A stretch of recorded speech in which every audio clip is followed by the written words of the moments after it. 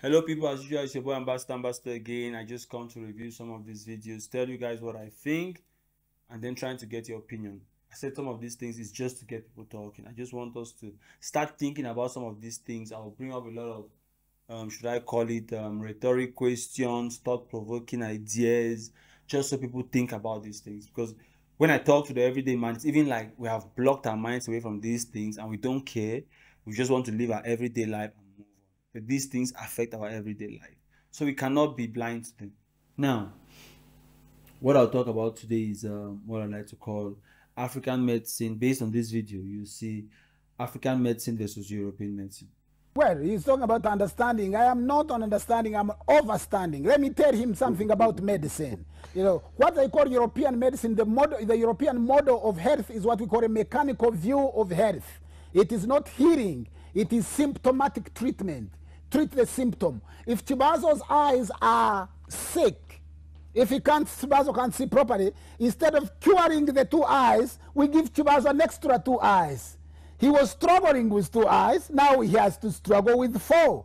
And sometimes he needs six eyes for eyes to see long distance and eyes to see short distance.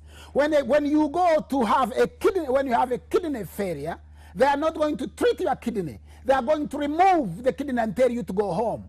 And the work that was performed by two kidneys is now being performed by one kidney. No wonder if you have a kidney failure and they remove the kidney, you live only for two years. If you have cancer in your body, they are not going to treat the cancer. They are going to carpet bomb, bomb all, kill all the good cells and the bad cells with very red radioactive treatments. So that is what we have harvested from what he calls treatment. That is not health, that is death and destruction. Most of Africa's health was preventative. It was dietetic, dietetic, you know, based on a diet. You change your diet. You ask yourself what causes cancer. What causes your own heart to attack you? Imagine your heart. Your heart is supposed to look after you. Your heart is supposed to guide you. But now you have a situation where your own heart says, Chibazo, I have had enough. I am going to attack you. But they can't deal with that because they don't know health. They are children. They couldn't have invented anything. They went there. 5.5 million years we were here. We taught them everything. We ruled Europe for 600 years. Look, it's for 800 years from Spain and Portugal.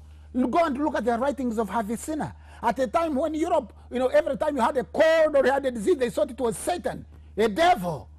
That's why they have transferred all that knowledge now. They have kicked out Christianity in their countries and they have, you know, they you know, put it in Africa. Now, in Africa, everything is devil, devil, devil this, devil accident, devil, you know, illness, devil that.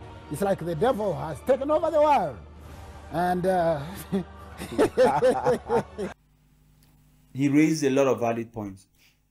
At times, some people like this are a little bit extreme in their thoughts, but at times you need to be extreme to be able to dig into some of these things. They're very passionate about it. He raises a lot of valid points. First, I just want to put that out there. Very valid points he's raised in regards to comparing African medicine to European medicine and how he explains the fact that uh, European medicine is not cure, it's just to maintain the problem and then till you die. And then keep making money from it. Capitalist system. What do we expect? So, also, apart from the fact that um, some of our experts they, they they are built by external forces. What do I mean by that?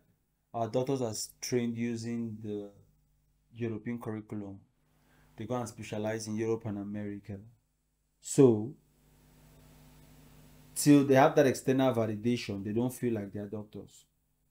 Till we carry out studies, I remember like when there was COVID and I think they discovered something was in Tanzania or somewhere. And they said, no, it's fake, it's not proper because it did not come from some international structure, some Cambridge, some Harvard, some medical structure in America validated it. We said it's trash. We could not export in the rest of Africa. But if they just told us that these things coming from America and has been researched, even when we know that they have not been properly tested, like the vaccines that came on board, we will still run with it. So that there's that complex where the African system always feels that till things are validated, either our ideas or our should I call them positions or our expertise, if it's not validated by Europe or America, it's not valid. What can I say? That's the mind of the African.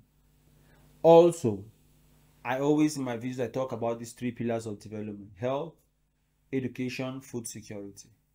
They are independent pillars, but they're also very related. And we know, like a building, every pillar stands on its own.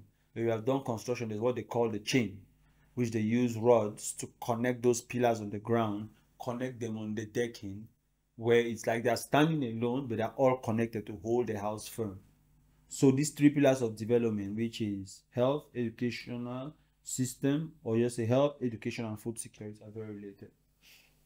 So health is one of them. And if you have noticed, I talk a lot about some of these things about African medicines, our ways, um, our valuable, should I call it, medicinal approaches to things, which we have abandoned or we have lost, and it's costing us very dearly.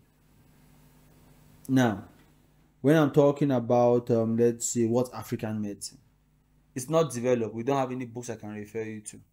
But I've done a lot of research in that direction where you know, you start to understand that okay, Africans had things like they'll call their evil forest.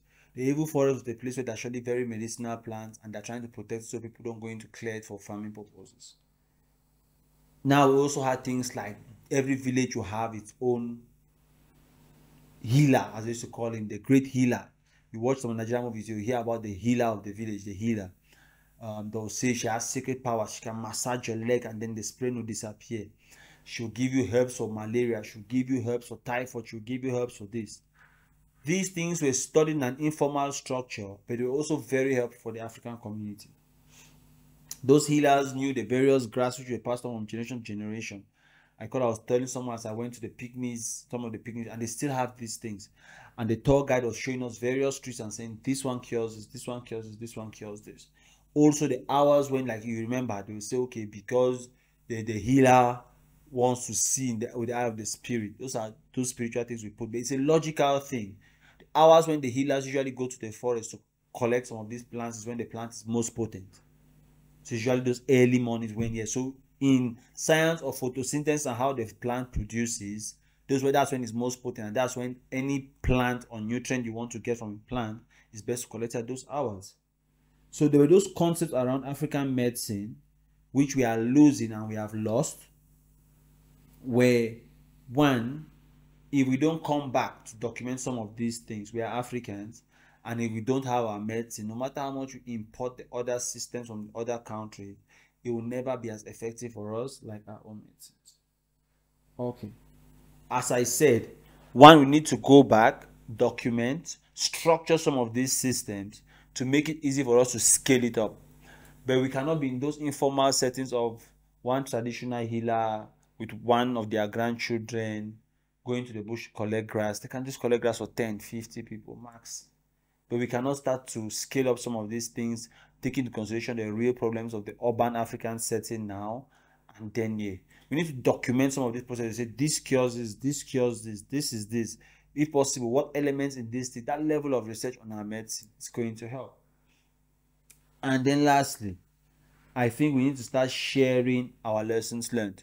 First, what are the failures or the challenges we are facing now? We break it down. What are the, the failures? What happened before we lost all of our practices in the past? Lastly, how can we move on from this? How can we solve it? So when I talk about lessons learned, it's in these three questions and one solution added to it. And I feel like, like Africans, I'll go into some of some videos, I'll talk a little bit more details about the African medicine. But I feel like we need to pay attention to some of these things. What is African medicine? What does it really mean?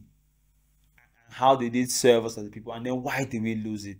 If we don't ask some of these questions, we just keep living like blind bats.